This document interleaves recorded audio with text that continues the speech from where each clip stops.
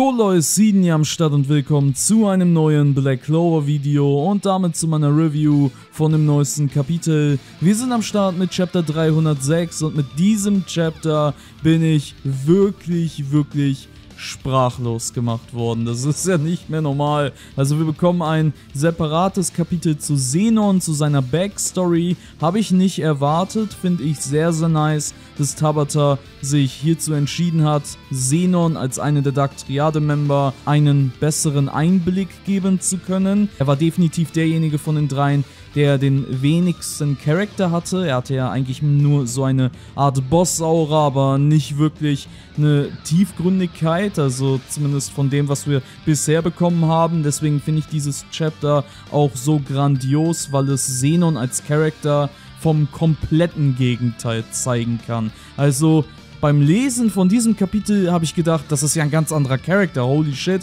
Also von dem einen zum anderen Moment wirklich Spitzenklasse, wie Tabata hier diese Backstory mit einbringen kann. Das muss ich dem Typen echt lassen. Backstories kann der unnormal gut schreiben. Nozzle hat das gut gezeigt, Nacht hat das gut gezeigt. Jetzt haben wir hier mit einem Chapter eine Backstory zu Xenon, die ich voll und ganz abkaufe und die absolute Spitzenklasse ist. Holy shit. Wir gehen natürlich rein ins Kapitel. Wenn es euch gefällt, lasst mir gerne einen Daumen nach oben da und natürlich ein Abo auf dem Kanal, wenn ihr nichts mehr zu Black Clover verpassen wollt. Und an dieser Stelle kann es losgehen mit dem Video und meiner Baba-mäßigen, aber auch sehr, sehr grausamen und traurigen Review. Wir sind ja endlich beim Juno-Kampf angekommen. Das bedeutet, wir haben hier natürlich den nächsten Kampf, beziehungsweise den letzten Kampf der Dark Triade. Das Kapitel beginnt hier mit Juno, der seinen Schuss endlich fertiggestellt hat. Also er hat beim letzten Mal seinen One-Shot vorbereitet und tatsächlich geht das hier auch gut für ihn auf.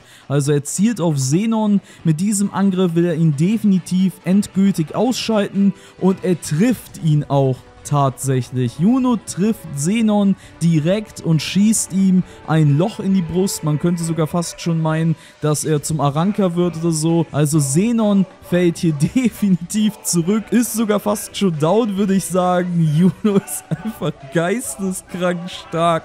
Es ist nicht mehr normal. Und ich spare mir jetzt mal die Randbemerkung da diesbezüglich. Ihr wisst alle, was ich für eine Meinung zu Juno habe. Ich denke, damit stehe ich nicht alleine da. Aber das ist auf jeden Fall sehr, sehr eindrucksvoll, wie der Typ einfach eine Form nach dem anderen pullt und dann die One-Shot spammt bis zum geht nicht mehr. Das ist wirklich Geisteskrank. Blutspuckend und fassungslos vor Junos Angriff geht er langsam down, wobei hier das Ganze ein bisschen unterbrochen wird, denn wir gehen jetzt in den Flashback über. Wir sehen hier, dass Xenon der jüngste der Sokrates-Geschwister ist, also von den dreien, die wir halt dementsprechend kennen, und mit seiner Familie im Spade-Königreich aufgewachsen ist. Allerdings gibt es hier eine kleine Änderung, denn Dante und Vanika sind nicht die einzigen Geschwister, die Xenon hat, sondern er hat noch einen älteren Bruder, der bisher noch gar nicht revealed wurde. Entweder ist es ein Charakter, den wir schon kennen oder schon mal in irgendeiner Art und Weise im Black Clover gesehen haben. Da lasse ich das jetzt frei in den Kommentaren offen, wer das sein könnte. Ja, könnt ihr gerne reinschreiben. Ich habe keine Ahnung. Auf der anderen Seite könnte das natürlich dann noch ein Charakter sein, der für später noch offen gehalten wird. Also, dass der halt noch später reinkommen wird als Vierter der Dark Triade, als vierter Member oder so etwas. Damals haben wir noch davon gesprochen, dass Nacht möglicherweise zur Dark Triade gehört, so als Spion oder Doppelspion, Doppelagent mäßig. Und hier haben wir jetzt einen vierten Bruder. Könnte ja sein, dass nach Xenon noch ein Vierter quasi in diesem Zirkel für dieses Ritual zustande kommt und der bisher einfach noch nie großartig gezeigt wurde. Hier in dem Flashback sehen wir also, es gibt einen, der anscheinend auch das meiste Wissen besitzen sollte, denn er redet auch von Teufeln. Er redet über Teufelbesessenheit, über Devil Hosts und so weiter. Also er hat anscheinend die größte Ahnung davon, beziehungsweise führt die anderen Geschwister so ein bisschen in diese Richtung. Der älteste Bruder teilt dann Xenon mit, dass er ihm am nächsten sein soll. Also Xenon hat das größte Potenzial aus der Familie sozusagen, weshalb es nicht schlimm ist,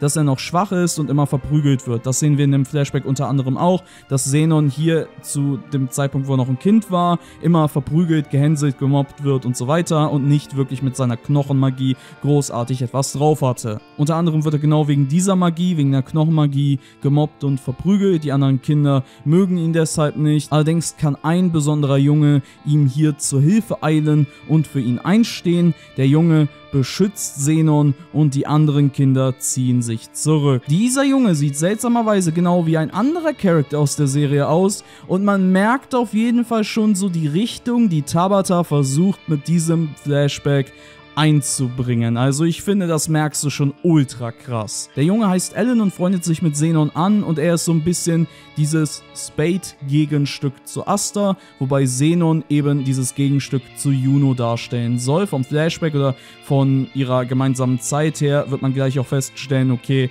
das ist halt übel die Asta-Juno-Backstory. Dann eine kleine Randinformation zum Spade-Königreich an sich und zwar befindet sich dieses in ständigen Kriegen. Unter anderem werden sie auch vom Diamond-Königreich angegriffen, also scheint wohl nicht eine friedliche Lage dort zu sein in dem Flashback oder früher gewesen zu sein einfach, was man sich definitiv auch im Hinterkopf behalten sollte. Also möglicherweise ist das auch so ein Plot für Morris und so, weil der kommt ja aus dem Diamond-Königreich ursprünglich.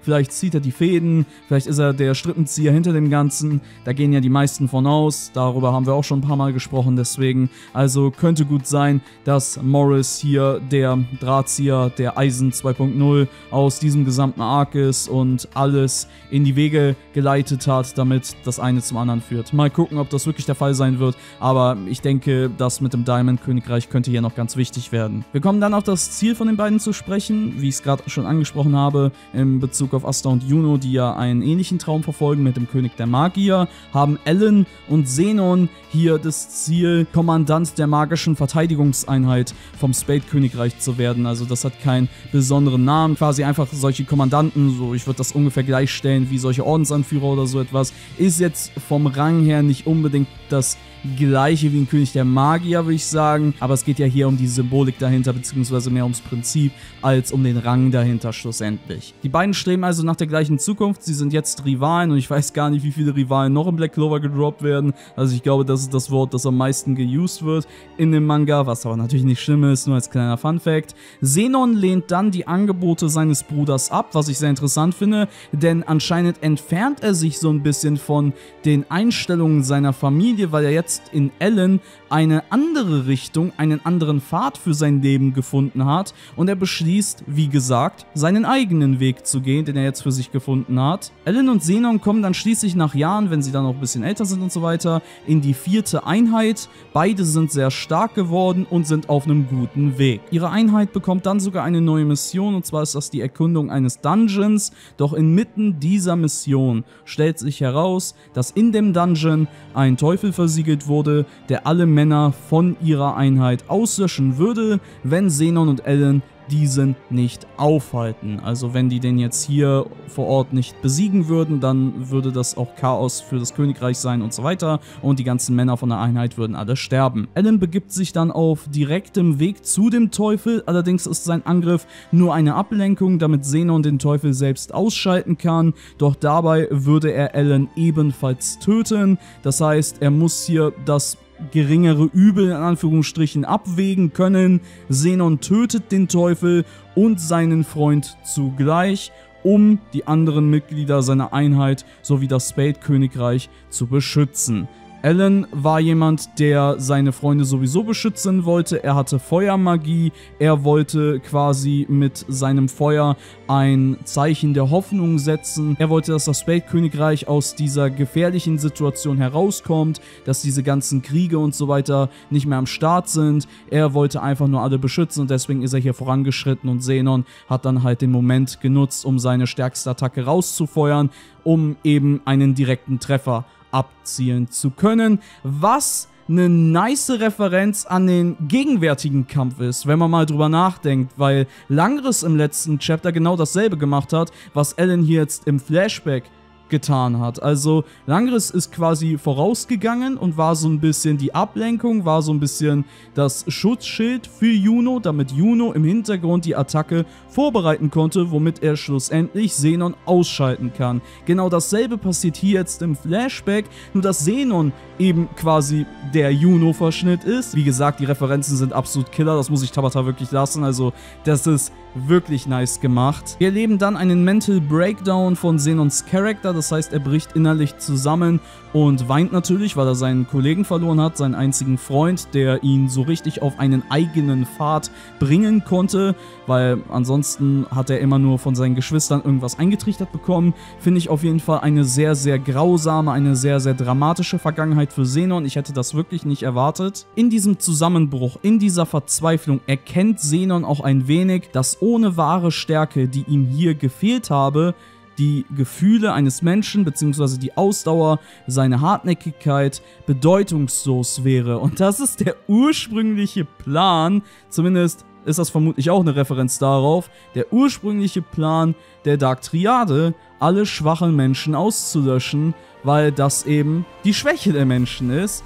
Wenn sie nicht stark genug sind, ist alles andere bedeutungslos und das erkennen wir anhand des Flashbacks von Xenon selber. Ich finde diese Backstory übernice, wirklich. Also das zeigt mir nur nochmal, dass Xenon von allen dreien von der Sokrates-Familie, abgesehen von dem vierten unbekannten Bruder, auf jeden Fall der Beste ist mit so einer Backstory. Das war davor schon wegen seiner gewissen Aura, kann man sagen. Aber jetzt mit diesem Flashback absolut God-Level, würde ich fast schon sagen. Also ich fand dieses Chapter mitunter eines der besten Kapitel, die wir bisher in diesem gesamten Arc bekommen haben, weil es meine Einstellung zu dem Charakter von Grund auf geändert hat. Es ist auch ein komplettes Gegenteil, was hier reingeschoben wird, weil Xenon vorher wirklich ein ganz anderes Bild abgegeben hat und jetzt mit dieser Backstory wir eine viel größere Einsicht in Xenon kriegen. Das ist wirklich, wirklich spektakulär, ohne Spaß. Und genau aufgrund dieser Tatsache, aufgrund seiner Verzweiflung,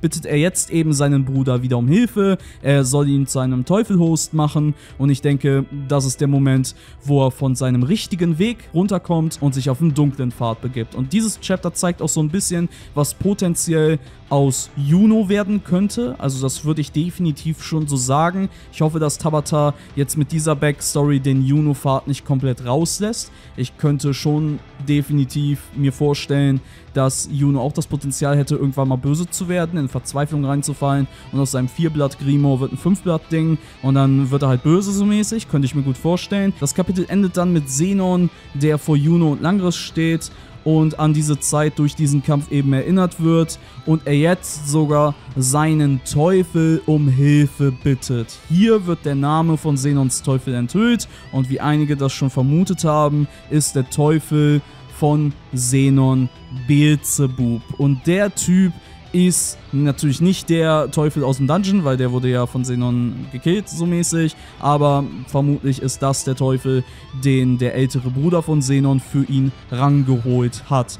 Und wie immer auch der jetzige Deal aussehen würde, der Kampf hat gerade erst angefangen zwischen Juno und Langris und Xenon, der jetzt an diese Backstory wieder erinnert wurde. Wie gesagt, das Gesamtkonstrukt von dem Fight finde ich bisher sehr, sehr gut durch dieses Chapter gerade, gerade durch dieses Kapitel gefällt mir der Kampf jetzt viel mehr als vorher wirklich eine sehr gute Entscheidung von Tabata. Real Talk, Baba-mäßig. Ich könnte mir an dieser Stelle auch vorstellen, dass das Ende von diesem Kampf in eine besondere Richtung geht. Und zwar haben wir ja mit diesem Kapitel gesehen, dass die Ursprünge von Xenon eigentlich gut sind. Er ist ja eigentlich kein schlechter oder wirklich böser Mensch. Er ist nur vom Weg abgekommen dadurch, dass ihm so etwas widerfahren ist. Dementsprechend gehe ich davon aus, dass gerade durch diesen Kampf von Juno und Angriff gegen Xenon, wo halt immer wieder Vergleiche oder Referenzen gezogen werden, dass am Ende Xenon durch Juno, also durch sein Gegenstück sozusagen, durch sein symbolisches Gegenstück wieder auf den richtigen Pfad gerückt wird, aber nicht auf die Weise, und das muss ich so betonen, nicht auf die Weise, dass er irgendwie Nahkammer-Power technisch dann die Seite wechselt, sondern dass Xenon hier tatsächlich am Ende stirbt oder sein Leben lässt mäßig besiegt wird, aber in seinem letzten Gedanken wieder mental auf dem richtigen Weg kommt durch Juno. Das würde ich sehr gut finden, gerade weil man, wie gesagt, eben diese Referenzen zieht, diese Vergleiche zieht und durch den Flashback auch zeigt, dass Juno eigentlich ähnlich zu ihm ist. Die beiden eine ähnliche Figur darstellen und auch eine ähnliche Vergangenheit mit der ähnlichen gleichen Richtung oder Zukunft geteilt haben. Und Xenon stellt potenziell das dar, was Juno in der bösen Richtung zeigen würde. Also es ist eine Sache, die ich auf jeden Fall für möglich halte. Ich könnte mir das gut vorstellen. Ich halte Xenon, Vanica und Dante nicht für Kandidaten, die in 50 Kapiteln auf einmal für die gute Seite kämpfen. Das ist nicht das, was ich haben wollen würde, sage ich ganz ehrlich, weil dafür sind Dinge passiert, die die abgezogen haben, was du denen halt nicht verzeihen würdest so mäßig. Also das kann ich mir nicht vorstellen. Das würde halt zu sehr in Fairy Tail Richtung gehen und das glaube ich nicht, dass Tabata das hier macht. Und jetzt stellt sich natürlich die Frage, was wird Xenon beim nächsten Mal da rausholen? Geht er nächstes Kapitel in Union Mode? Das wäre krass. Wenn er Union Mode rausholt aus Beelzebub, einem der Clifford-Teufel, einer der untersten Ebene so mäßig, das wäre schon krass. Vor allem muss es auch ein bisschen reinkommen, dass Juno auf den Sack wieder bekommt. Würde ich übernice finden. Er kann diese Kämpfe nicht so easy peasy gewinnen. Wenn es einen Kritikpunkt gibt an diesen ganzen Dingen, und ich wollte es eigentlich nicht erwähnen, dann ist es aber Junos Power-Up. Und das ist halt einfach am Ende des Tages immer so gewesen. Er wird vom Mana geliebt und mir persönlich wird ein bisschen zu sehr vom Mana geliebt. Ich hoffe sehr, dass Xenon nächstes Mal eine Form raushaut, Union Mode oder irgendwas anderes. Von mir aus 450% von Beelzebub, mir egal. Aber er soll den beiden anders Hardcore den Arsch aufreißen. Damit wäre es von meiner Seite aus gewesen zu diesem absolut krassen Kapitel. Real Talk, ich würde 10 von 10 sagen. Lasst mir gerne eure Meinung zum Chapter unten in den Kommentaren da und eure Meinung zu Xenon jetzt nach diesem Kapitel natürlich. Damit wäre es das. Gerne einen Daumen nach oben, wenn es euch gefallen hat. Wir sehen uns beim nächsten Mal. Haut rein und ciao!